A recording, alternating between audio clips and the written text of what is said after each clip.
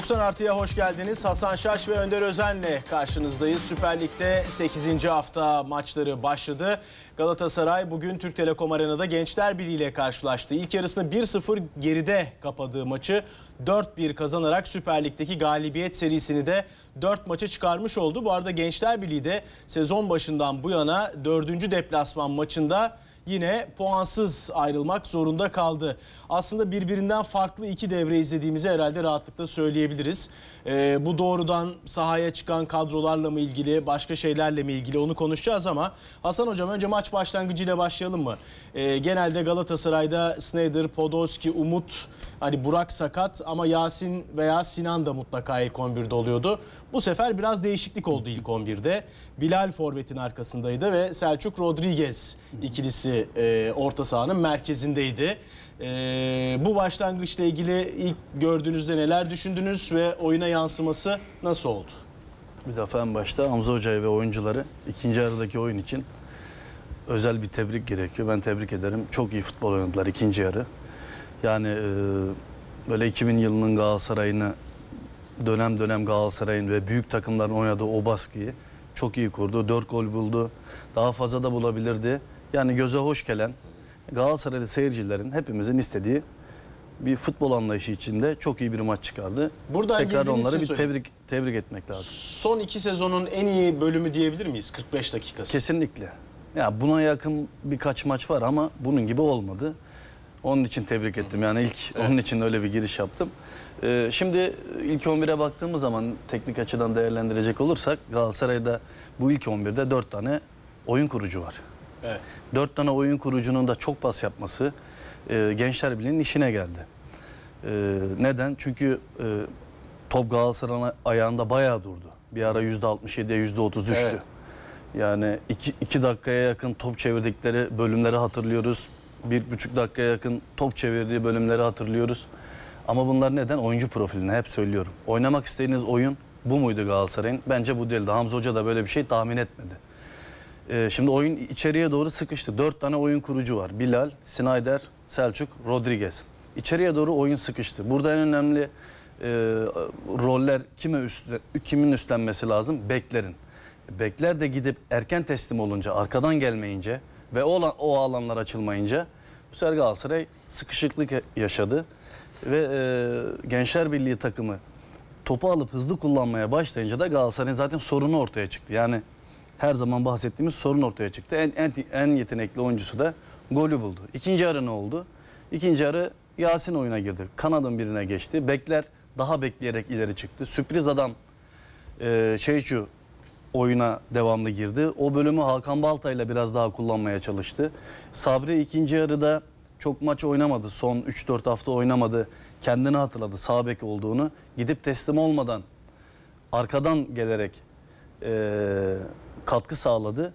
Podolski kendini hatırladı, o gücünü hatırladı. Snyder'i Selçuk özverilerinden dolayı özellikle tebrik ediyorum. Çünkü yüksek düzeyde maçlar oynadılar. Milli maçlar oynadılar. O maçların dönüşünde böyle yüksek performansı oynamaları da çok bence takdire şayandı. E, taktik olarak böyle çözdü Hamza Hoca. Belki e, tabii Hamza Hoca'nın elinin değdiği maçlar olmuştur ama elinin değdiği maçtır bu Hamza Hoca'nın.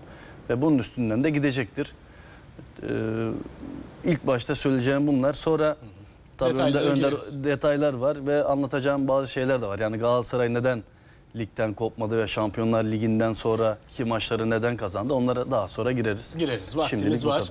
Ee, Önder Hocam sizinle de ilgili maç baş, sizden de maç başlangıcı ve onun ilk 45 dakikaya yansımasını e, rica ediyorum.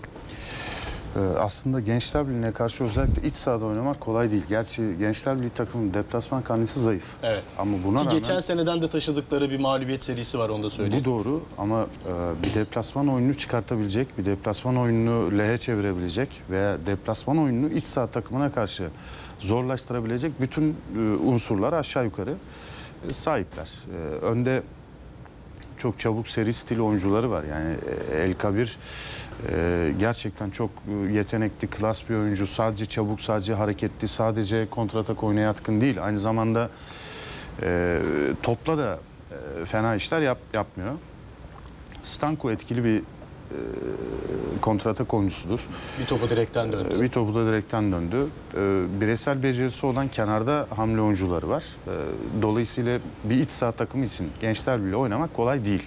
Yani ne kadar bugüne kadar Gençler Birliği bunu sahaya tam anlamıyla yansıtmamış olsa da kadroyu koyduğunuzda caydırıcı bazı unsurlar var. Korkutucu veya te- tedirgin edici bazı unsurlar var. Galatasaray ilk devre bayağı önlemlerle e, önlemlerle oynadığını gördüm. Ee, mesela bu kontra özellikle savunmanın arkası için bu hesaplanarak mı yapıldı yoksa oyuncular kendi inisiyatifiyle mi biraz arkaya e, çabuk e, arkaya geçtiler onu bilemiyorum. Mesela bir pozisyon var. E, El Kabir'in girdiği pozisyon gol olmadı belki ama Fatih Hoca'nın İzlanda maçında tarif ettiği pozisyon. Sağ stoperden sol öne bir uzun diye tarif etti. Türkiye'de pek beğenilmez dedi. Hatırlıyorsun belki Evet. basın toplantısında. Aynen öyle bir pozisyonda sağ stoperden sol öne bir top attılar. Ee, o sırada 18'in üzerinde gördük Çeçu'yu. 18'in üzerinde yani top havada 60 metre süzüldü. Ee, bu mesafede olunca Galatasaray ikinci devrede atakta bir devamlılık sağlayamadı. İlk yarıda. İlk, ilk devrede.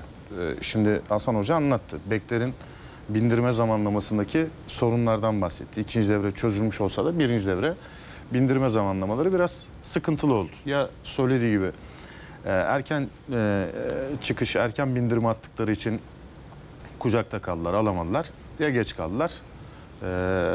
bir opsiyon haline gelemediler orta saha oyuncusu için.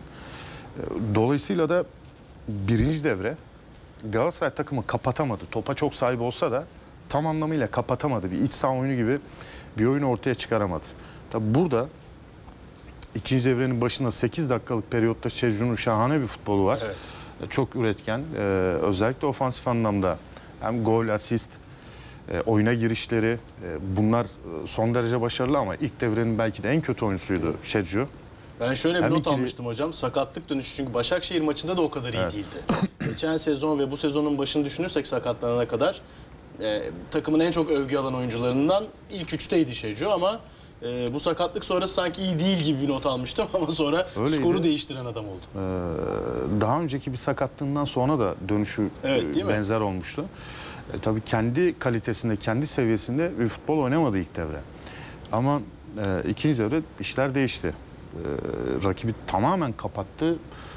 E, sürklese ederek bir saniye nefes aldırmadan ki koşuyla baskı yapmadı Galatasaray takımı. Topla baskı yaptı.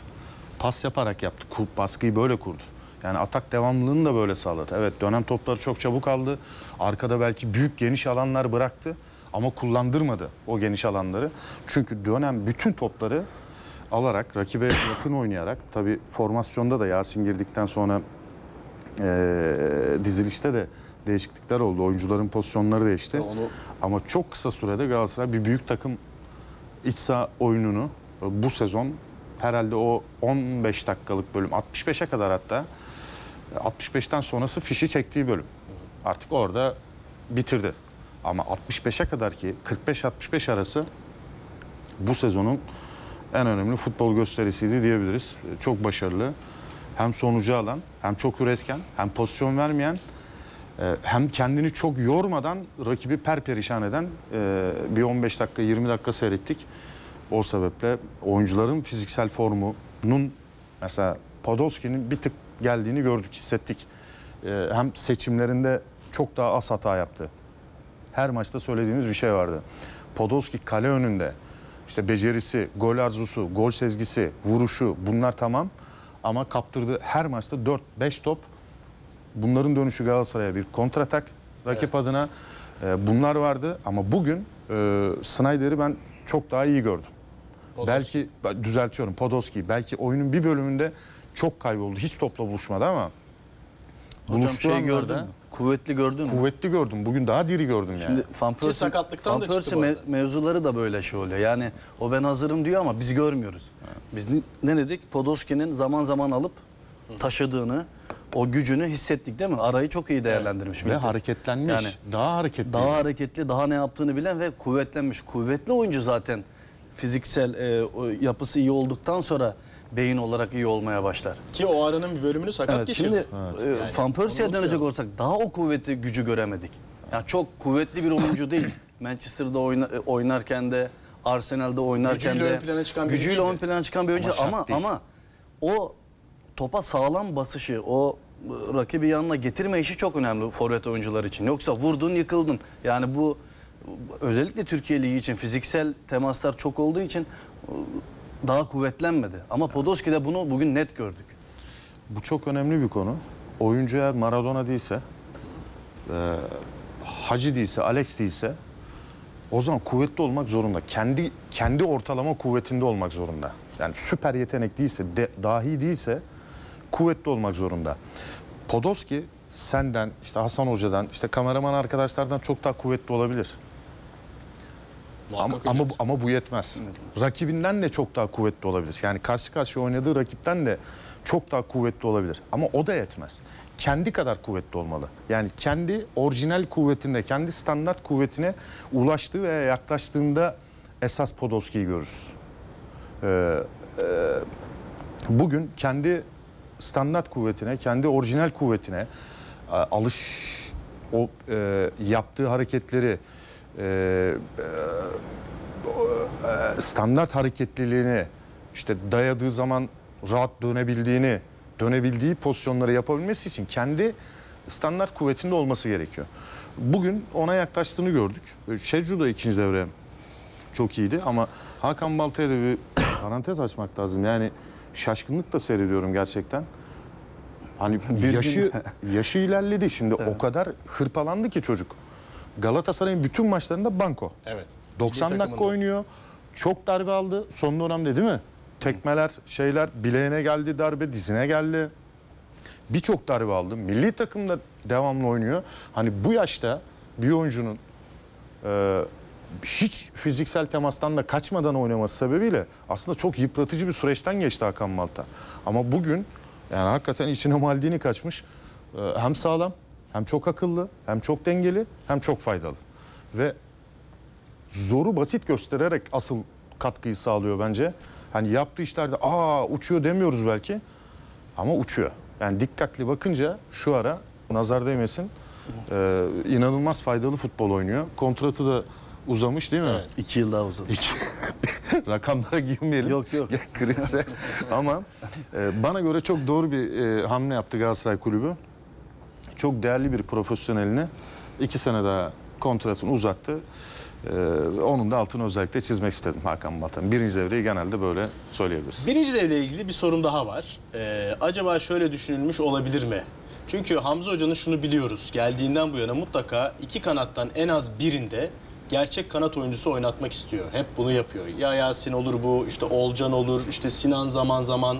Ee, bundan asla vazgeçmeyen bir düşünce tarzı vardı hep. Ama bu maçta bundan yani Podolski de kanat oyuncusu değil diyemeyiz ama hani Yasin gibi, Sinan gibi topla çok mesafe kat eden oyuncular değil. Acaba ben şunu düşündüm eee, kadroyu gördüğümde. Gençler Birliği zaten oyun yapısı olarak hele deplasmanda kesinlikle topu rakibe veriyor. Ve çok kendi kalesine yakın bir yerde savunuyor eee, kalesini.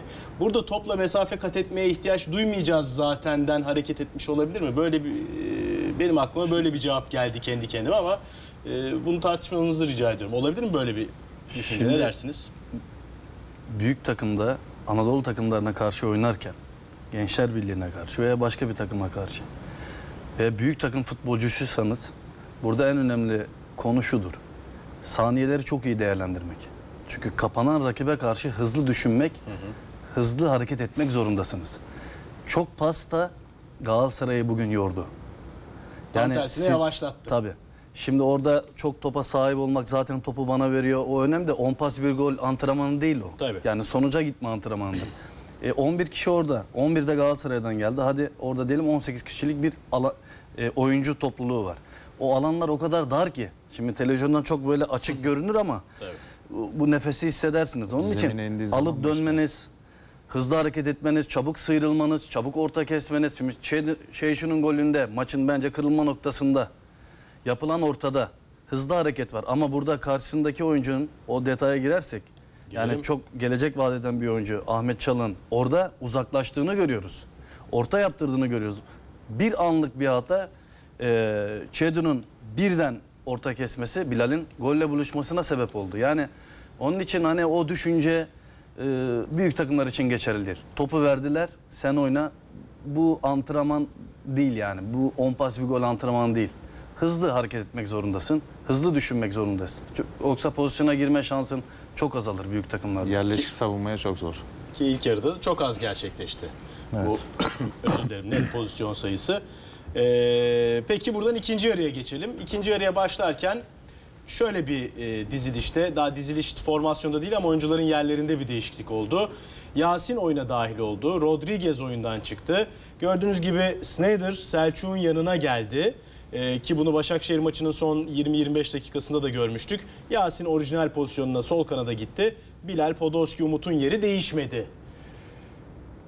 Ve ikinci yarıda belki de işte az önce dediğimiz gibi son iki sezonun en iyi Galatasaray, en iyisi bile olmasa en iyilerinden birini izledik. Neydi ikinci yarıda Ee, Galatasaray'ın çehresini değiştiren, tabi biraz erken golün de bunda etkisi oldu herhalde değil Mutlaka. mi? Yani, Yani, şimdi e, Gençler Birliği takımı şunu düşünüyordur. 15 dakikayı atlatalım. Muhtemelen hocası da öyle söyle, söylemiştir. Ee, ben evet. de o, o takımın hocası olursam bir 15'e atlatabilirsek, 65'e kadar gelebilirsek o baskıyı daha aza indirgeyip bu sefer biz topla oynayıp kontratakta 2'yi bulursak bu maçı çözeriz diye düşünmüştür. O e, ilk golün 50. dakikada yanlış 49, söylemiyorum. evet. 49 ikinci golünde 52 mi? 53. 53. Peş peşe dakikada. geldi 8 dakikada. İşte o Gençler Birliği oyuncusunu bitiren şeydir o. Yani e, moral motivasyonunu kaybetti, hatalar yapmaya başladı. Zaten şimdi Gençler Birliği takımına da değineceğiz. Yani Galatasaray'ın bu kadar iyi oyunda onların da bir katkısı yok değil. Yani 1 Kasım'da tekrar bir şey verilse, e, transfer izni verilse bir aralığa kadar İlhancı Hoca 8 tane yabancısını yollar. Yani Stanko'yla Elkebir'i tutar. Yani çok kötü yabancılar. Değil mi? Yani e, hiçbiri birincilik düzeyinde değil. Yani bu oyuncular nasıl seyredilmiş, nasıl alınmış bilmiyorum ama hani erken de konuşmayayım ama yani 3 top yapam- yapamıyorlar. Bir e, Stavbükleş'ten aldıkları oyuncu var. 4'e 3 yakalamış Galatasaray. 3 yerden şut çekti. Gereksiz anlamsız şutlar. Sklasson herhalde sonradan oyuna giren oyuncu pas yapamadı. Diğer oyuncular katkı sağlayamadı. Yani çok kötü bir Gençler Birliği'nin belki son zamanlardaki en kötü yabancı kadrosu. Yani yabancı transferleri. Yani en çok Mehmet Hoca ister. Keşke bir Kasım'da bir transfer başlasa da şöyle bir değiştirsem takımı diye. Yani gidemediler. Yani bir takım bu kadar e, gidememezlik yapamaz. Yani istesen de yapamazsın. Çünkü Alan. Galatasaray'ın bir şeyi var. Yani sana veriyor topu. Yani baktığın zaman e, yanında geliyor ama Galatasaraylı oyuncu çok da böyle sert müdahalelerde bulunmuyor sana. 30'ar metre topları sürebiliyorsun Galatasaray'a karşı. Bunları da yapamadılar. Yani bu da etken oldu. Hep dönen topları Galatasaray aldı. Yasin muhteşem oynadı. Bekler yerinde çıkmaya başladı. Arkadan gelmeye başladılar. Podolski müthiş oynadı.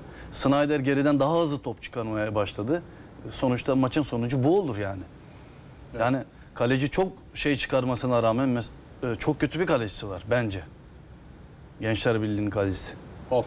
Evet. Yani bu kadar pozisyon gelirse yani o, siz de 15 tane antrenmanda ya bir ara hocam antrenmanda yaparsınız ya 11-11 taktik çalışması. Kaleyi orta sahaya getirirsiniz.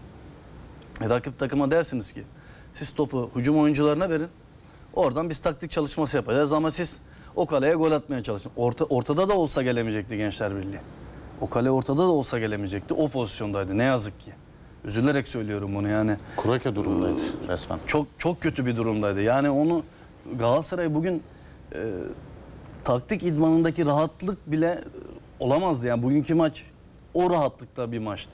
İkinci yarı için söylüyorum. Ki henüz skor 1-0 iken ve 1-1'den yani 2-1 olana kadar o 8 dakikalık bölümde 2 ya da 3 kez çok iyi kontratak fırsatları yakaladı aslında Gençler Birliği. Senin belirttiğin gibi hocam 4'e 3, 4'e 2, 5'e 3 Ee, ama orada Bunda işte yetenek yani bir yere kadar yani Mourinho'yu getirin bugün Gençler bir teknik direktörü olsun. Ya şimdi topu sürüyorsun. Mourinho mu diyecek şimdi ver diye pası veya şimdi çalım at veya şimdi şut çek. Bunu hiçbir teknik direktör diyemez. Bu futbolcunun tamamen kendi yeteneğiyle alakalı. Beşiktaş maçı da böyle oldu hatırlayın. Yani ilk 20-25 dakika Gençler Birliği dengeli bir oyun oynamıştı Ankara'daki maçta. İlk yarıyı önde kapattı. Beşiktaş ama ikinci yarıda yani 90 artı küsürüncü saniyeye kadar e, rakip kaleye gidemedi Gençler Birliği. Beşiktaş daha da kapatmıştı o zaman ama e, böyle bir problem var demek ki Ben Gençler kesinlikle yabancı problemi olduğunu düşünüyorum Gençler Birliği'nin. E, Gençler Birliği'nin sorunları var. Yani sadece yabancı değil, yerli e, oyuncuda da tabii Ahmet Oğuz da e, istikbal vaat eden genç bir kardeşimiz Sabek. Ama o abandone oldu ikinci devre. İkinci devrenin başında. Özellikle şimdi birinci devre ile ikinci devrenin farkı biraz da şu. Birinci devre Galatasaray takımı topu kullanırken driplingle yani dripling yapan oyuncusu var. E, Top süren oyuncusu var daha doğrusu. Dripling yapan oyuncusu yok. Adam top sürüyor. yok. Top top sürüyor. Snyder sürüyor. Rodriguez Ee, mesela. Selçuk taşıyor. Rodriguez taşıyor ama rakibin arkasına geçen oyuncusu yok. Şimdi ilk devre için konuşuyorum. İlk devrede Snyder topla buluştu. Sol çizgiye yakın. Ahmet Oğuz ona bir gölge. Onunla beraber takip. O nereye kadar dolaştırıyor tutsa topu. Onunla beraber teslim edene kadar takım arkadaşına. Ee, bu yeterli. Ama Yasin oyuna girdikten sonra artık birebirler başladı. O birebirlerle Gençler Birliği takım savunması baş edemedi. Özellikle şimdi Tomic ikinci devre sağa geldi. Ahmet Oğuz'un önüne. Ama e, bir kere Tomic orta tempolu bir oyuncu. Hani üçüncü vites bir oyuncu. Dördüncüsü beşincisi yok. Çabuk hareketli bir oyuncu değil. Yani hem Karol'un bindirmelerine o cevap veremedi. Snyder oraya çok yakın oynadı. Ee, Yasin zaten birebirlerle e, darma duman etti orayı. O birebirlere karşılık veremedi sağ bekte. Çok zayıf kaldı. Ee, geçen sene zaman zaman hatta Mehmet Özdilek Hoca da e, Ahmet Çalık'ı bazen özellikle önemli maçlarda böyle sert deplasmanlarda sağ bek oynattığını hatırlarım. Yani normal pozisyonu stoper ama daha sert bir stoper olması kolay kolay geçemezsin e, Ahmet Çalık'ı. Ahmet Oğuz'u tercih etti. Zaten Ahmet Oğuz sağ bek oynuyor. Orijinal sağ bek. E, böyle yapabilir miydi acaba? Bu sorulabilir. Onun dışında yabancı oyuncularla ilgili ben de katılıyorum. E, ama olduklarından da daha kötü göründüler bugün. Calma'da mesela o kadar da kötü bir oyuncu değildir. Değil. Ama bugün olduğundan kötü göründü. Stanko. Zaten Stanko'nun iyi oyuncu olduğunu iyi biliyoruz. bir soru yönelteceğim de hani merak ettim. Sen daha iyi e, şey yapıyorsun. E, takip edebiliyorsun da. Sonradan oyuna giren İrfan neden oynamadı? Yani Ben de şimdi o da bir soru, acaba biz- sorudur. O da bir sorudur. çünkü e, oyunu iki yönlü oynayabilen bir oyuncu, süratli bir oyuncu. Neden oynamadı diye acaba bir taktik anlayıştan mı yoksa sakatlıktan dolayı mı o yüzden tam bilmiyorum yani. ya şu kadronun içinde e, Olması Ümit lazım milli diyorsun. takım oyuncumuz değil mi? Evet. Yanlış bilmiyorsam. Yani oynaması gerekirdi. Ben öyle düşünüyorum. İstanbul deplasmanı piyasa maçıdır. Belki vitrine çıkacak. Daha güçlü bir e, oyun sergileyecek. Ben oynanmasından yanaydım. Ama Özellikle- sakat mı döndü Ümit milli takımdan veya psikolojik olarak e, Ama yorgun sonradan mu girdi. döndü bilmiyorum. Sonradan Çok girdi. Geç de olsa girdi. 60 kaçta girdi? 67. 67'de girdi oyuna. Ee, Ama sakat, orada maç bitmişti sakatlık girdiğinde. yoktur Aynen. ama belki 0-0 e, ne kadar 0-0 oynayacağını planladı hoca, Mehmet Hoca. Eğer o 0-0 elinde duruyor olsaydı belki daha sonra hamle kullanmak istedi. Ama ben de katılıyorum. İrfan Can özellikle 18'e yakın bölgelerde iyi bir oyun kurucudur aynı zamanda. Hem kendisi gidebilen hem etrafında oynatabilen e, bir oyuncu. El Kebir'le belli bir seviyede uyumu da var. E, Kullanılabilirdi. O bir sorudur. Mehmet Hoca da kendisine e, büyük ihtimalle maç bittikten sonra analizi yaparken soracaktır.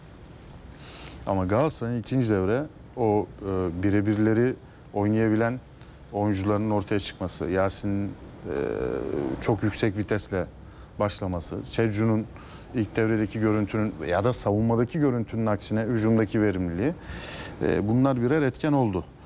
E, özellikle 2-1'e ta- tabii Hasan Hoca gelecektir ama 56. dakikada Galatasaray'ın bir hata var. E, ders gibi bir atak. Kendi korner sol köşe gönderin oradan Karol e, Snyder birlikte oynuyorlar. Snyder çok çabuk Bilal'e oynuyor. Bilal değiştiriyor oyunun yönünü. Podolski pozisyona soktu. Atak e, 8 saniyede 6 saniyede aşağı yukarı 6-8 arası rakip kaleye gitti. Hani bu bu bölümde yani kendi sahanda büyük silah kalite. Kendi yarı alanında büyük silah. kalite. Oynayabilmek, pas. Pasla orayı çıkartabilmek, pasla o pres oyununu kırabilmek ve boş sahayı yaratabilecek e, oyuncuların da varlığı Galatasaray için çok büyük avantaj. Ama bir de bu taraf var.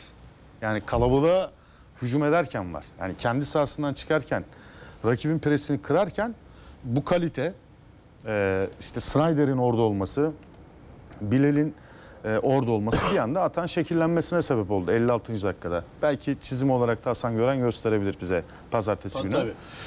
E, ama rakip yarı alanda bire birebirler gerekiyor. Yani yaslanmış rakibe, 18'den çıkmayan rakibe, 18'in üzerine savunma yapan rakibe karşı birebirler gerekiyor. E bir de ne gerekiyor? Ceza sahasına koşu. Bir ara şey aklıma geldi ya Bilal hani gençken acaba gençken de on numara oynadı. Malatya'da şeyde, e, Ankara'da, Karşıyaka'da, e, işte Fenerbahçe genç takımdan çıkmıştı. İzmir Spor var tabii.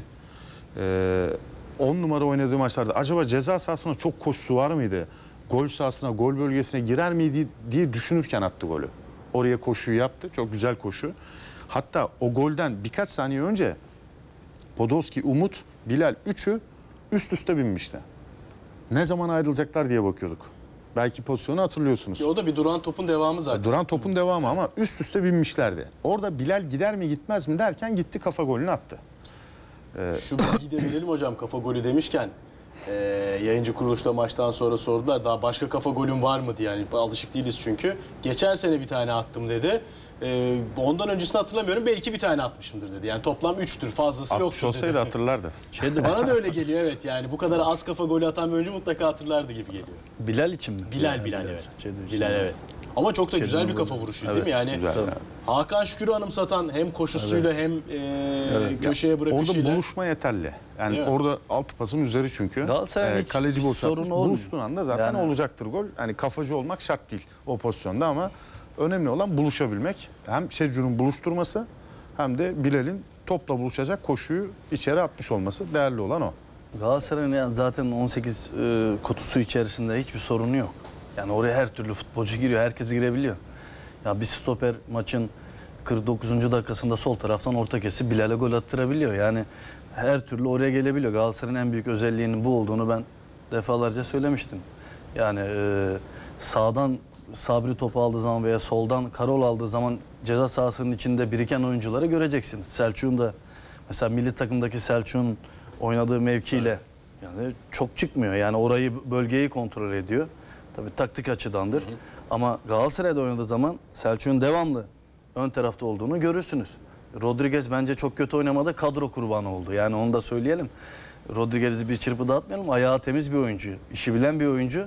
O da ceza sahasının içine ilk yarılarda e, çizgiden sert ortalar vardı. yaptı. Kadro kurbanı diyelim ve taktik değişiklik olarak. Yani Rodriguez kötü oynamadı. Bir tane ben soru sormak isterim Hasan Hoca'ya. Ee, müsaade ederseniz. Hocam Ee, lütfen. Podolski ile Sabri'nin uyumunu e, nasıl gördük acaba? Daha iyi olabilir. Biraz e, yani yüzde elli yüzde altmış diyelim. Yani e, Podolski de Sab şimdi Podolski bekliyor Sabri'nin bindirmesini bekliyor. Ya Bek kendisiyle gelecek ya da Sabri'ye atacak. Eğer gelmezse Bek zaten Podolski'ye şut imkanı yaratıyor. Şimdi Sabri'nin bunu ezberlemesi lazım. Şimdi e, atmayacağını bile bile de Sabri'nin gelmesi lazım. Tabii. Bazı pozisyonlara. Çünkü Podolski iç- Alan içeri lazım. çekip içeri çekip çok güzel şut atabiliyor. E Şimdi Sabri de akıllı oyuncu. 4 hafta oynamayınca hani gücünü ona göre test edecektir. Ekonomik ona göre ekonomik oynayacaktır. Zaman zaman sahte bindirmeler de yapmak zorunda Podolski'ye alan açmak için. Ama e, biraz daha iyi olabilir. Yani daha iyi tanıyacaklar birbirlerini. Podolski ile oynamak sağ bek açısından kolay bence. Çünkü biraz senin tarif ettiğin e, hani Bekir atlatacak oyuncu tarifine çok uygun Podolski'nin özellikleri. Mesela şimdi güçlendiği zaman çok daha uygun. Yani sırtı dayadığı zaman bir şeyi rahat bekleme şansı var. Yani bindirmeyi görme şansı var. Dayayıp dön, dönme olasılığı var. Dediğin gibi e, bazen sahte bindirmeler de gerekiyor içeri vuracağı için. Ama Sabri'nin de Dinayer'in de şanssızlığı bir dönem formsuz kuvvetsiz Podolski ile oynadılar. Geçen senelerde de Galatasaray'ın bu tarz bir tane sağ ön oyuncusu olmadı. Evet. Sabri için mesela.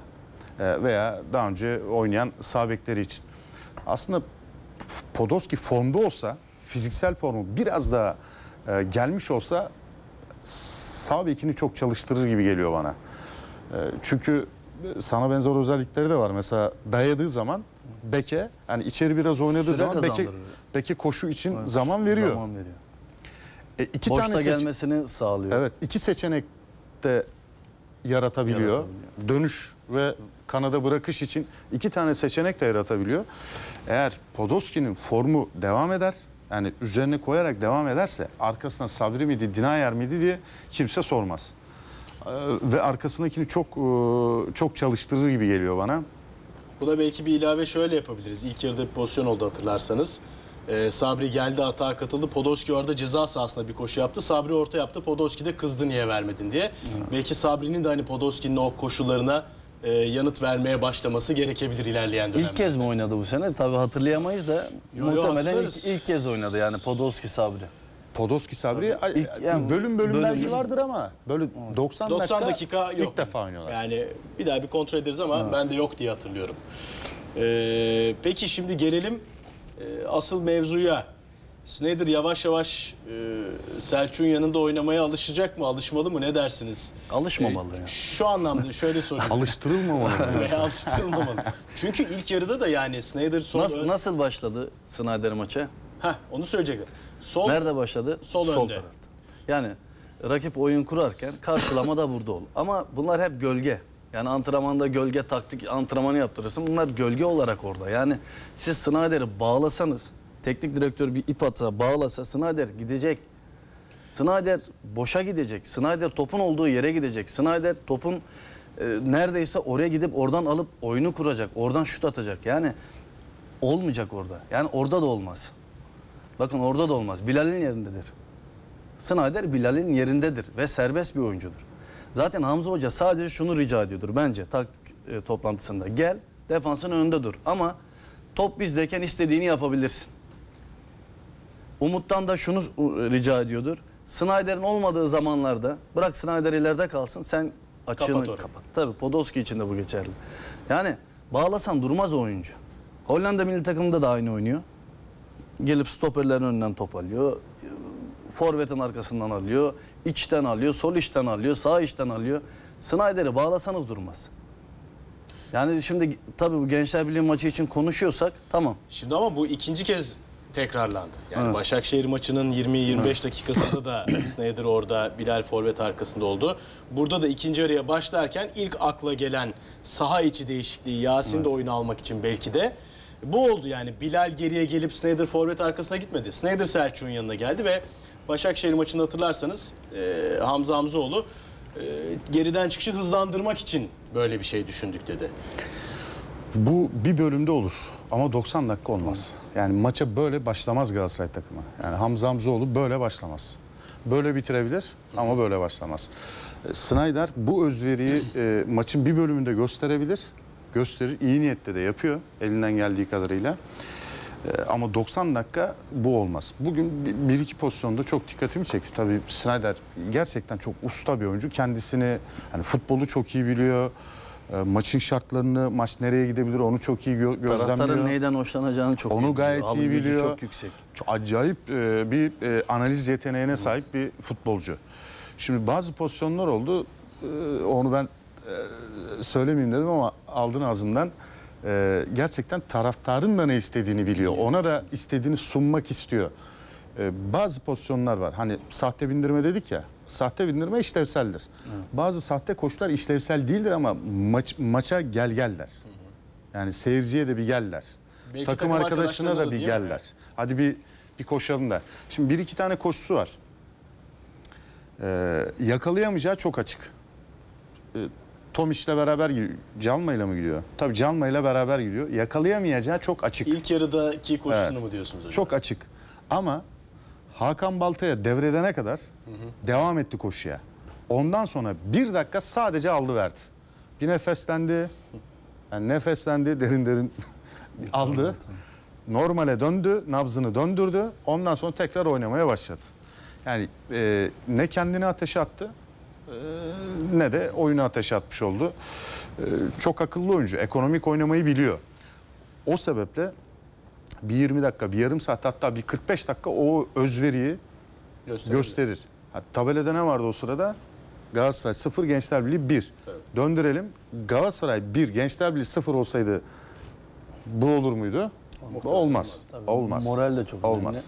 Şimdi taraftar Oyuncu da oyuncular kendi aralarında üçü toplanır. Yani Bilal Selçuk şey. O, o- orada hemen Bilal ile Selçuk şeyin arkasına geçer. Snyder'in arkasına onu önlerine alırlar. Onlar üçü orada halleder. Gerek yok zaten. Şimdi burada Snyder'la bu mevcut 11 içinde konuşuyoruz tabii. Snyder'la Bilal arasında bir tercih yapılıyor. Normalde hani dizilişte Bilal Selçuk'un yanında Snyder da forvetin arkasında ama daha oyunu hızlandırmak düşüncesiyle Snyder biraz daha geride oynuyor. Peki Bilal'in öndeki performansı yani burada iki tane şey var.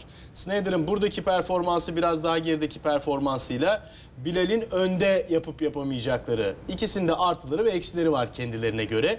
Bunları tarttığımızda e, bu konuya, bu pozisyon değişikliğine nasıl bakarsınız? Ya Bilal de orada iyi bir on numara gibi veya e, Snyder'a yakın bir performans sergileyebilir mi? Sergiler mi? O özelliklere haiz mi? Değil mi? Astana maçı ilk 11'ini Evet, hatırlıyorsun. hatırlıyorum. Bilal, Selçuk, sol tarafta Snyder, Podolski, Umut değil mi? Ya denendi bu. Yani biraz Galatasaray orta sahada zafiyet yaşadı Astana takım Biraz olmasına rağmen. çok yaşadı. Yani biraz İkinci diyelim hani çok moral Yok orta bozmayalım. sahayı geçemedi ikinci Ee, neredeyse. Ki Bilal gole kadar kötü oynuyordu. Ve maçın 90 dakikalık bö- bölümünde de orada hani biraz daha güçlü bir orta saha gerekiyordu. Şimdi bunu görmüştür Hamza Hoca. Muhtemelen onu orada gördüğü için ve Bilal'in en iyi oynayacağı pozisyon forvet arkası olduğu için bu maç böyle denedi. Yani e, Burada bir sonra- daha orada den- dener mi? Bir daha oraya döner mi? Onu Bu bence Tabii. bir B planı olarak yerleşmiş Şu olabilir. olabilir yalnız. Şimdi Hasan Hoca biraz evvel tabii e, çok güzel anlattı. Oyuncuyu çok iyi tanıması tabii. Beraber çalıştılar Snyder'le. Ne söyledi hatırlayalım. Ee, bağlasan durmaz. Ee, gelir stoperden de yani sol önde veya santforun arkasına oynadığında da gelir stoperden alır. Oyun kurmak ister. Gider bekten alır. Oyun kurmak ister. Orta sahanın ayağından alır. Oyun kurmak ister. Topun çekim alanına kapılır. Ee, topun olduğu yere gitmek ister. Kafasında çünkü kale var. Aynen böyle söyledi. Doğru mu söylüyorum? Aynen, Doğru mu aktarıyorum? aynen. Şimdi bu aslında Bilal'i Santfon'un arkasına göndermek, Bilal sen oraya git e, ten ziyade e, Snyder'e sen gel stoperlerin önünde durdan ziyade Bilal sen de git gibidir bu biraz. Çünkü zaten Snyder gidecek. Yani Bilal e, Selçuk'un yanında da olsa Snyder zaten gidecek hücuma. Bu biraz Bilal'e oğlum sen de git durumudur biraz. Bugün biraz öyle oldu. Çünkü her po- evet geldi bazen stoperden ayaktan aldı Snyder kurdu. Bazen Selçuk'tan aldı kurdu. E, ama rakipten kapıp da kurmadı. Zaten bu olmaz. Beklenemezdi değil Bu, mi? yani? bu, bu beklenmez çünkü o oyuncu o değil. Ama Bilal Selçuk'un yanındayken sadece pasa yaradı. Kaleye gitme çok e, işlevsel olmadı. Orada mesaj Hamza Hoca'nın mesajı biraz da Bilal sen de gittir. E, Ben öyle anladım. Bu 90 dakika olacak iş değil. E, özellikle Snyder'in e, çünkü bunu ilk 11'i böyle başlatırsanız e, maç böyle başlarsa bu o zaman Snyder'e şu demek olur. Snyder stoperlerin önündesin. Selçuk'la beraber. Bu budur. Ama bunu tabelada 0-1 yazıyorken bunu yaptığınız zaman Bilal sen de git, sen de git. Tir. Türkçe meali Evet. gibi. Bu arada birinci devre ya, e, çok ciddi hakem hataları oldu. Çok ciddi hakem hataları oldu. Bilmiyorum e, dikkatinizi çekti mi? E, biraz Çağatay Şahan'ı da Şevcu kurtardı dersek o 8-9 dakikada e, biraz kurtardı. Hangi Yoksa konuşulurdu. söylüyorsunuz hocam? Yani Karol'un goldeki e, pozisyon. Karol'un e, pozisyonu mesela. O penaltı itiraz. Şey göstermedi fazla Karol. Ama Net bir çekiş var mı? şimdi e, ne diyor teşebbüs? Teşebbüs düdük diyor. Kural kitabında öyle söylemiyor Evet. mu? Yani eğer kitaba bakarak yapacaksa hakemler ki onlar kitaba bakmalı. O işleri bu. Doğal olarak. Ee, bir standardı olmalı. Ee, bazen öyle, bazen böyle Yok, olmaz. olmaz, tabii ki. Şimdi iyi niyetinden kesinlikle e, şüphemiz yok Çağatay Şahan'ın. Ama Bugün öyle, öğlen de öyle bir pozisyon oldu hocam. Şeyde. Standart yakalama konusunda bazı sıkıntıları var. Bakın ben inanın hakemleri hepsini simayen tanıyorum. Bütün hakem isimlerini biliyorum ama eşleştir desen eşleştiremem. Han, yani Cüneyt Çakır'ı, Fırat Aydınus'u onları tabii ki onları şeyleri tanıyoruz. Ee, ama hangisi hangisi onda gerçekten zorlanıyorum. Ama Çağataş Şahan'ı e- ezberlememin sebebi Neden hocam? bir standart e, sorunu Olduğunu ee, gözlemlediniz. olduğunu gözlüyorum. İyi niyetinden şüphe etmiyorum. Ee, Çok iyi niyetli, çok dürüst, namuslu bir insan olduğunu zannediyorum ama e, iki sene önce e, ilk defa e, kendisini tanıma şansımız oldu sahada. E, Bir Beşiktaş Konya maçında deplasmanda. E, Daha sonra bir e, geçen sene şeyden dönerken e, Sivas'tan dönerken yine yani bir- birkaç maçını hatırlıyorum bu şekilde benzer Standart sorunu olduğunu ee, bir, bir, bir sorun olduğunu düşünüyorum. Belki bunun üzerine çalışmak ister. Gençler Birliği'nin golünden önce? Bilal'in pozisyonu yani gör, görüntüde biraz var gibi. Ee, biraz var gibi. Bir Selçuk'a bir çok açık bir faul var. Bir dizine geldi. ilk Kıv- yarının kıvrandı da sonunda. 39. dakikada. Hakikaten kıvrandı Selçuk. Sonra diz, dizine bir müdahale de oldu. Evet. E, yaptılar. O çok açık bir fauldü. Ee, sonra Karol kaleye gidiyor artık. Göğsüyle aldı devam ediyor. Ona el çaldı. Dördüncü şey Rodriguez. E, Rodriguez, düzeltiyorum. çizgisinde. şeydeki e, Numaralı tribünler önünde. Hani eski yan radyo hakem, yan hakem, tabiriyle. yan hakem belki E onu yardımcı hakem çaldı yardımcı hakem çaldı ama Volkan Dört, dört tane dört tane pozisyon var. Tabii e, hakemlerin bunların yarısını değerlendirir, yarısını değerlendirmez. Hani ben şuna karşıyım. Futbol aya- ayakla oynanıyor. Yani el el olmayacak. El olmayacak. Hiç. Vücut olur ama Bilal Bilal'i yani taç atılıyor. Elinle itemezsin. İsterse bunun şiddeti yüzde bir olsun. El, Göğüs- elinle itmeyeceksin. baskıyı yap. Şimdi Karol mesela bence penaltı değil. Önder hocama burada ayrışıyorum. Neden? Hani e, E orada da el var hocam. çok çok sert bir şey değil yani. Pozisyona tam penaltı gibi penaltı olmalı gibi hep bir klişe laf var ya orada. Ama orada da elini kullanmayacaksın. Çok, çok şiddetli bir el değil. Anlatabildim mi demek istedim? Stoper yani hatalı orada. hatalı onu söyle hakem. ama çok şiddetli de. Mesela bunu süzmek o anda çok zor. Mesela Rodriguez'in faulünü dördüncü hakem verdi. Çağatay Şahan ilk yarı e, vasatın altında maç yönetti. Buna ben katılıyorum. Ama bunu böyle hızlı gelişen maçta da çok ani düşüncelerle veremezsiniz. Yani çok böyle kendisine çok ciddiymiş gibi gelmez. Selçuk'un pozisyonunu vermemesinin sebebi de sarı kartı vardı Selçuk'un. Hatırlarsan ve çok, çok şiddetli. Ondan sonra da itirazlar vardı. süreli Belki onu, onun üzerine gitmek için yani vermemiştir onu.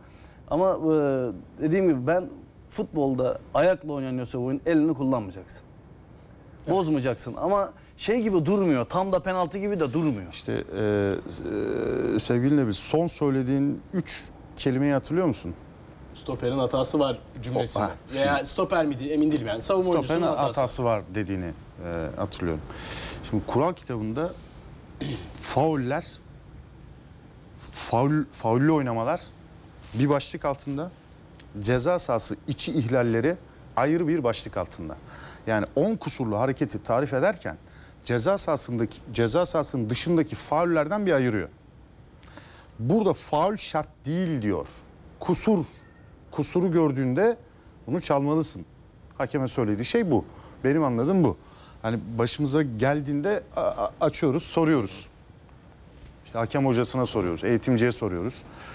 Ee, onlar da aynı yorumu yapıyorlar. Ee, ben de geçenlerde bir defa merak ettim. Son bu seneki e, kural kitabında fauller ve ceza sahası içi ihlalleriyle ilgili bölümleri ayrı ayrı okudum.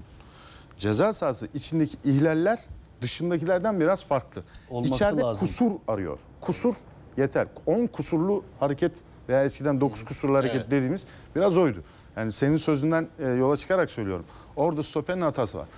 Varsa Risk alıyor bir kere. bakın ben penaltıdır demiyorum. Zaten biraz basit bir penaltı gibi olurdu. Hakemi de zor durumda bırakabilirdi. Ve şöyle Ama şu taraftan bakabilir kusur miyiz var hocam? mı? Evet kusur var. Benim de şöyle bir notum ve gözlemim var e, Çağatay Şahan'la ilgili. Avantajları neredeyse hiç uygulamadı. Yani faul oluyor evet ve top kendi takım arkadaşına gidiyor ama o düdük maalesef hep çalındı. 4 ya da 5 kez oldu. Hani bir maçta bir kere belki kaçabilir de 4-5 kez olması e, oyunun da temposunu öldürdü, düşürdü bence. E, bu da hani siz dediniz ya standardı tutturması konusunda e, çalışırsa iyi olur. Belki bu da dikkat etmesi gereken konulardan biri olabilir. E, maça tekrar dönelim. E, sahadaki performansa, futbolcuların oyununa. Dönerken de Hamza Hamzoğlu'nun e, maç sonundaki sözlerine bir kulak verelim. Hamza Hamzoğlu'nun penceresinden acaba nasıl geçti mücadele? E, Tabii ilk yarıda yani rakibimizin de göz önünde bulundurmak lazım. Yani daha dirençli bir rakip vardı karşımızda. Ee, ve tabii istediğimiz şeyleri de çok fazla yapamadık. Fakat yine de yani ilk yarıda üstün olan taraf biz olduğumuzu düşünüyorum. Pozisyonlarımız vardı birkaç tane az da olsa. İlk yarıda istediğimiz oyunu yakalayamadık ama ikinci yarı hamlelerle beraber daha ofansif oynamaya ve daha rakip kalede oynamaya, rakip ceza sahası içinde oynamaya e, gayret ettik ve bunu da başardık. Oyuncularımı tebrik ediyorum. Bugün e, herhalde sezonun belki de belki rakibimizin oyunu da buna etki, etki etmiş olabilir ama herhalde göze en hoş gelen, en keyif veren maçını oynadık diye düşünüyorum. E, goller de tabii olunca bu keyif daha da arttı. İnşallah bu çıkışımızı sürdürürüz ve sürdüreceğimize de inanıyorum. Çünkü takım olarak herkes e, çok iyi durumda. Herkes iyi çalışıyor. E, en basiti Kore'yi kadroya alamıyorum ama alamadığım için en çok üzüldüğüm oyuncuların başında geliyor.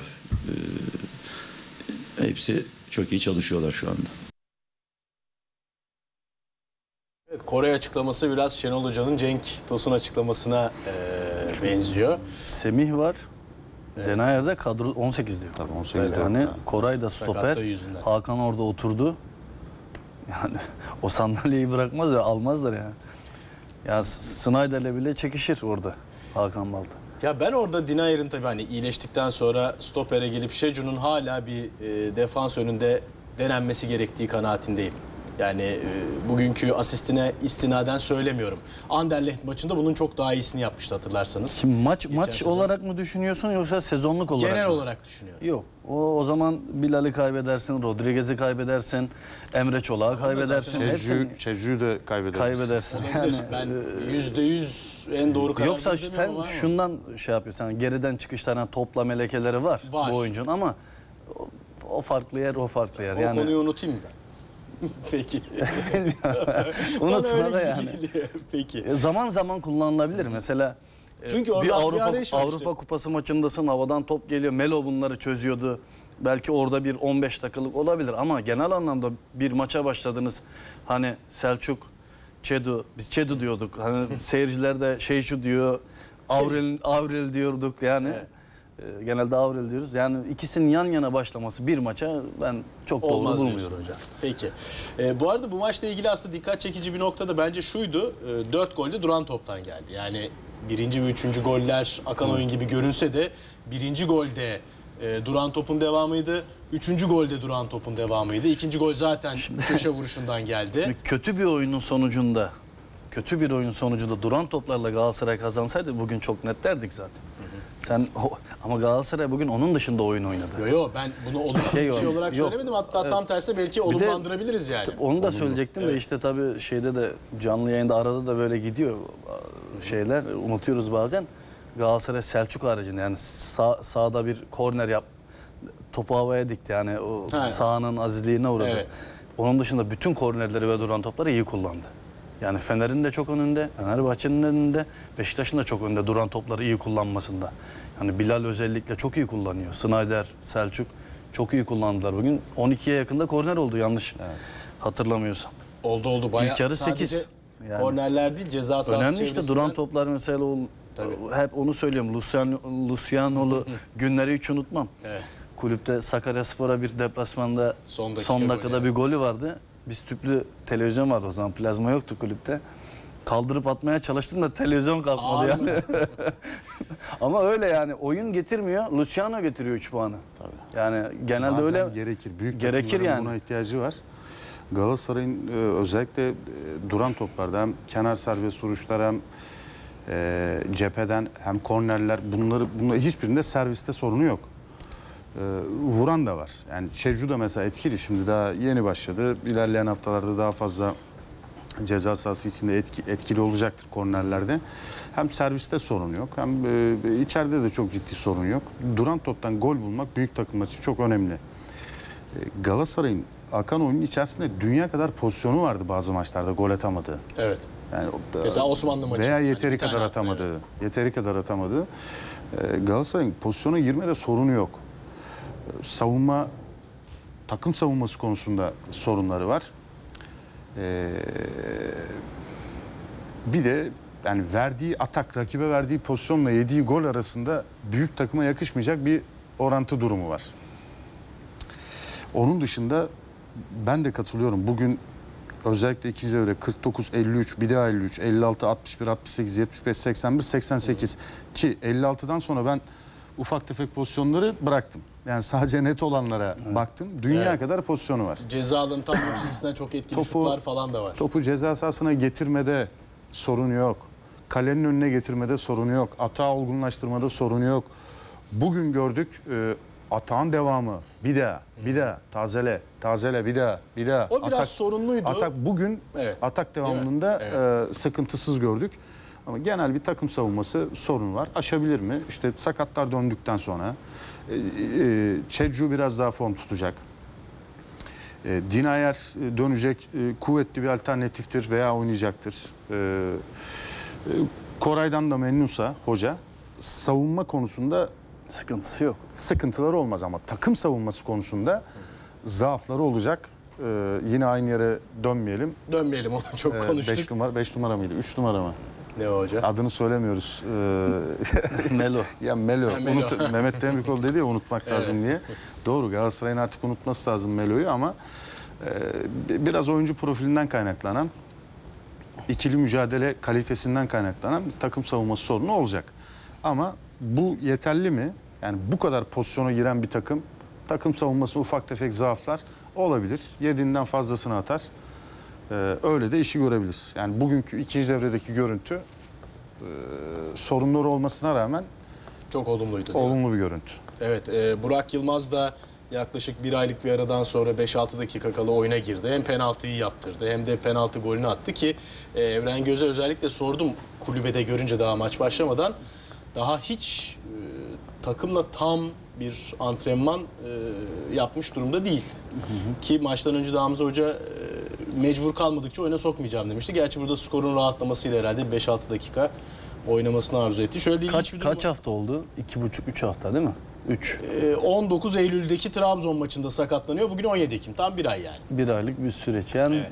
şimdi tabii arkada bir futbolcu olduğumuz, yaşadığımız için ben çok yaşamadım ama işte Emre de Galatasaray'dayken çok yaşadığını biliyorum. O yaşayan oyuncuları biliyorum. Yer ediniyor. Yani e, tam böyle kuvvetlenmeden dönülmemesi lazım olan bir sakatlık. Çünkü depar gücüyle oynayan bir oyuncu. Sprinter bir oyuncu Burak.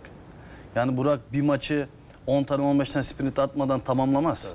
En kötü oynadığı maç bile En bu kadar. Onun için hani kaybeder. her an için her şey olabilir. Yani o kendini iyi hissedebilir ama korur. Beyin onu o adeleyi korur. Ama maç içerisinde o e, o mesela haftaya Fenerbahçe maçı diyelim oynuyor. O atmosferde onu kesinlikle Kollama şey yapamaz. şansı olmaz. Kollama şansı ol- olmaz. Yüzde yüz deparı basar. Bir bakarsın bir daha gitmiş. Çünkü inşallah olmaz ama erken olarak ben görüyorum. Yani eğer sakatlanıyorsan dönüyorsan, sakatlanıp dönüyorsan demek ki orası orada bir sıkıntı var. O zaman zamanını iyi ayarlamak lazım bunun. Yani hiç Yer antrenmana yapma- çıkmamışsa büyük bir sorun.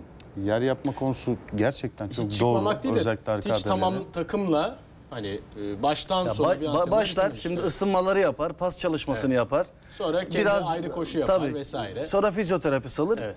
Onu dener. Ama der ki fizyoterapist yüzde yüze çıkma. Yüzde altmışlarda kal deparlarında. Veya yüzde yetmişlere çık. Nasıl hissettin? Var mı ağrı? Yok mu? Yani bu futbolcu o orada o deparlarda kendini test edemez. Sahadır. o. MR bile test edemiyor çünkü e, yırtığı MR'da e, MR okuyan uzmanlar görebiliyorlar. E, Bir süre sonra yani tedavinin işte e, sonuna doğru rehabilitasyon aşaması bitip de takıma vermek üzereyken bir daha MR'la bakıyorlar. Doku tamamlanmış, doku kendini onarmış gözüküyor ama zayıf.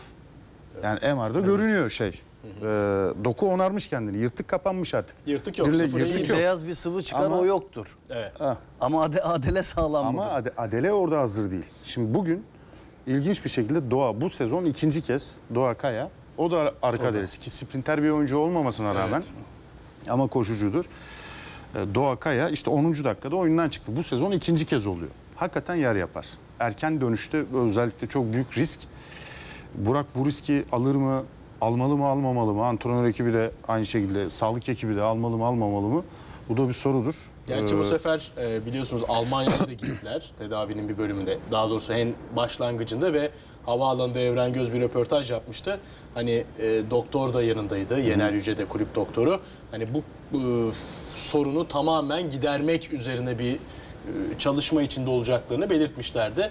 Bakalım sonucu ne Bu olacak? arada fizyolar, e, fizyoterapistler yani e, son bölümde fizyoterapistler test yapıyor dediği için söylüyorum Hasan Hoca.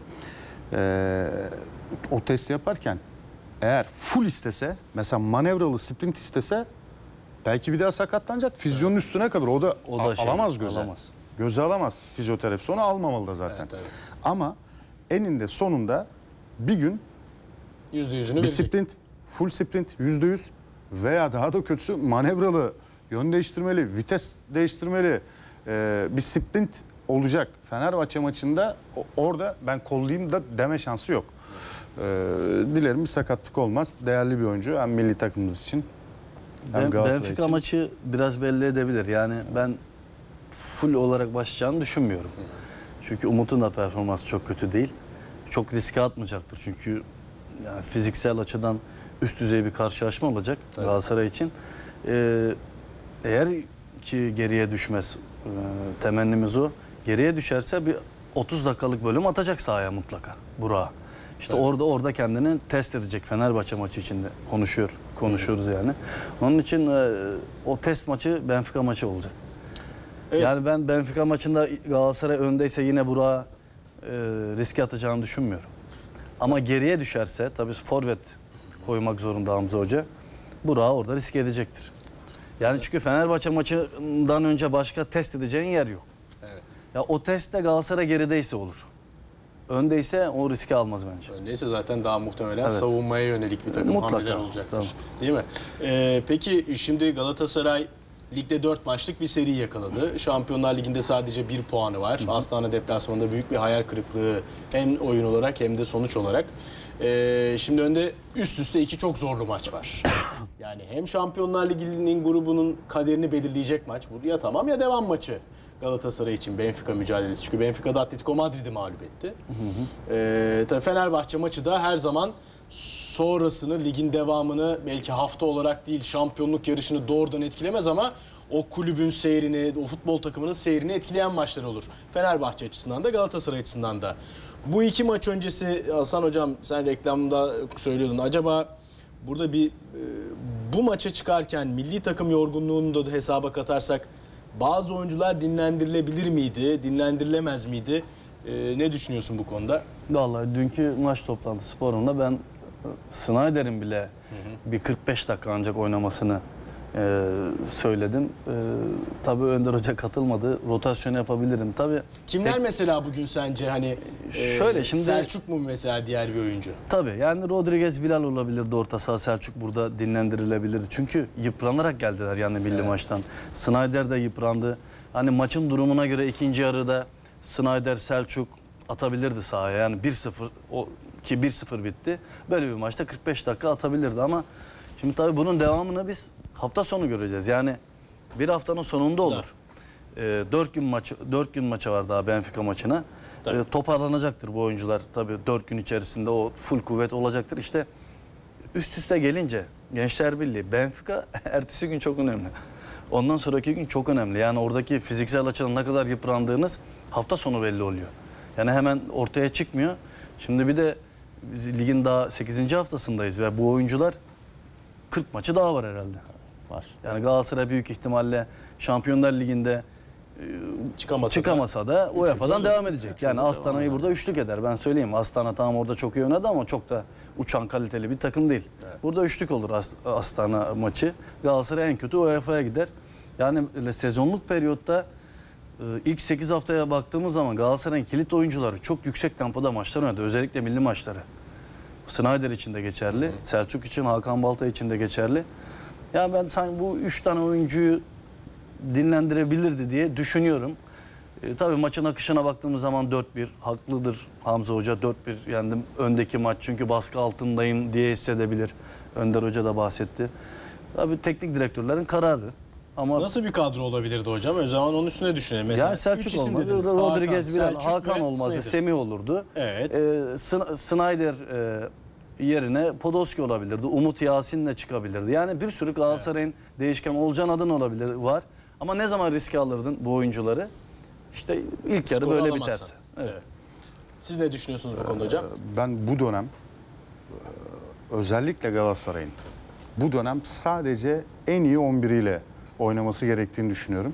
Neden? Ee, Bir kere e, kulübün e, camiasının takımın üzerinde bir bulut var. Ne olursa olsun bunu biliyoruz. Evet. Şimdi mesela bugün birinci gol. 1-0 geride Galatasaray takımı. Bilal golü attı 1-1 oldu. Oradan Masor geçiyor. Masor hiç istifini bozmadan devam ediyor. Yani normalde o Galatasaray kulübesini ben hatırlıyorum.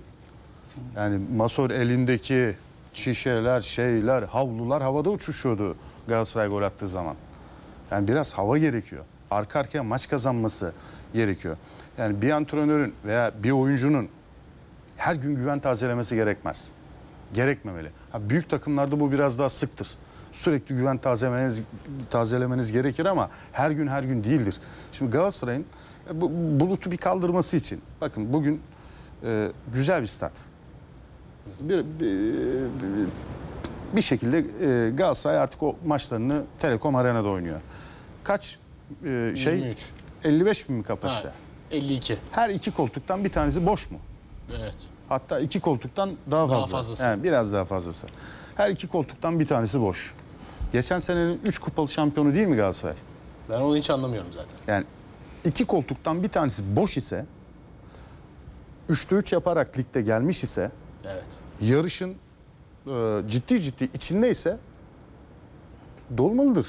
Eğer dolmuyorsa, Benfica ve Fenerbahçe dolmuyorsa, var ise- orada Hamza Hoca seviniyor golde. Ee, büyük, büyük bir sevinç e, içinde önünden geçen Masör bilmiyorum belki gö- yani görmedi desem duymadım mı 22 bin kişiden de ses çıkıyor. Ee, e, biraz havası kaçık o sebeple ben bu ara yani de, e, reklam arasında da konuştuk. Hasan Hoca rotasyon olabilir miydi acaba diyordu. Ben benim fikrim rotasyon olması Galatasaray yapmamalı bu dönemde. İdeal 11'i, en doğru 11'i, en kuvvetli, en güçlü 11'i neyse onunla oynamalı havayı yakalayana kadar. Yani bir bulutu atıp bir güneş açana kadar. Gerçi önümüz kış ama kulüplerde güneş Evet. kışın da açar. Evet. Bazen yazın bulut gelir, bazen kışın güneş açar. O sebeple Galip geldiğiniz zaman 50 derece olur. tabii aynen öyle. Böyle Adana gibi olur yani. Bu O sebeple ben e, ideal 11'inden vazgeçmemesi gerektiğini düşünüyorum. Bedelini ödemek koşuluyla. Ödersin bedelini ne olur? Bir tanesi sakatlanabilir, yorulabilir, formsuz olabilir ama Selçuk konusunda da ya, şahane bir gol attı. Biz milli takımı aldı Fransa'ya, attı buraya götürdü çocuk. David Beckham'ın böyle bir golü vardı Evet, hatırlar Yunanistan'a. mısınız? Yunanistan'a. Ya, onu alkışlamak için gidilir. Bir, yani takımda kaptanı. hocam. Onu alkışlamak için gidilir. İki, Selçuk bu kadar morali yakalamışken, üst düzeye çıkmışken, kafa yukarıdayken artık Selçuk bugün ilk 11 başlamalı. Snyder kaybederek döndü. O da çok büyük bir hayal kırıklığı yaşıyor. Hayal kırıklığı. Onu bir an evvel şimdi bugün oynamasa Snyder kafasında hala işte Hollanda kaybettik ettik. Onu bir an evvel Galatasaray'ın içine tekrar şampiyonluk yarışının içine sokmak lazım. Snyder'i. O yüzden bence Snyder de başlamalıydı. Ee, bana göre doğru 11 ile başladı Galatasaray takımı. Galatasaray Galatasaray'ın biraz havası kaçık dediniz. Bence çok güzel bir tanımlama. Çok kısa bir güzel bir özet yani. Ee, seyircinin de muhtemelen biraz havası kaçık. Ama bence Galatasaray seyircisi şurada stratejik olarak yanlış bir şey yapıyor. Bu havayı tekrar yaratacak olan bir unsur da seyirci. Tekrar takımı e, işte o belki masörü e, belki başka bir oyuncuyu tekrar havaya sok- sokacak unsurlardan Seyirci- biri de seyirci. Neden hep haklıdır biliyor musunuz? Bu profesyonel camiada Evet. özellikle fiyatların bu kadar tap yaptığı şeyde Evet. Para veren tek kişi seyircidir cebinden. Tamam. Herkes Şu- kazanır bir tek taraftar, cebinden harcar. cebinden yani. harcar. Onun için taraftar en güçlüdür. Tamam. Ve bu taraftarın ne kadar gücü kaldı ona da bakmak lazım. Anlatabildim demek istedim. Yok anladım gayet iyi anladım. Ne Doğru, kadar bu- gücü bu da- bu kaldı. da çok doğru bir tespit. Ee, evet. yani genel statlar boş. Sadece Yok. böyle şeyden değil. insanlar biraz zorlanıyor artık. Evet.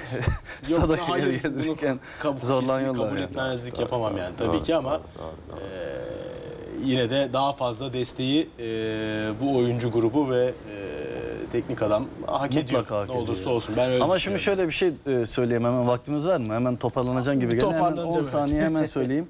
Ali Sami'nin stadı biliyorsun 25 bin kişi. Evet. Bizim şampiyonluk e, maçlarında Fenerbahçe maçı dışında ve çok önemli son haftalar dışında biz o 25 bin kişinin ancak 10 binini oynayabildik o dönemde. Yani Evet, yine bir 25 bin geliyorsa o çok iyi. Bu da tabii stadın şeyine geliyor yani locasına o stadın güzelliğine geliyor. Onu da şey yapmayalım yani. E tabii burada- Ali Samiye'nin o iç koridorunu bilenler ne demek isteyeyim onlar yani Tabii burada e, bütün kulüplerinde, yönetimlerinde o stada gelmeyi daha cazip hale getirmek için daha da fazla uğraşmaları gerektiğini asla göz ardı etmiyorum. O ayrı bir mesele.